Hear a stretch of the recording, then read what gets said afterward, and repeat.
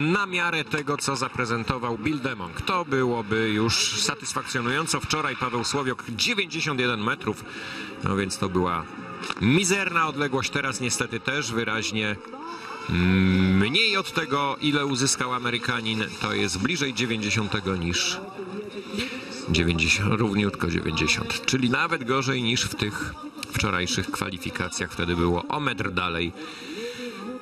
No niestety, przy takim skakaniu i przy niewiele lepszym bieganiu, właściwie porównywalnym z dyspozycji i w jednej i drugim elemencie dwuboju,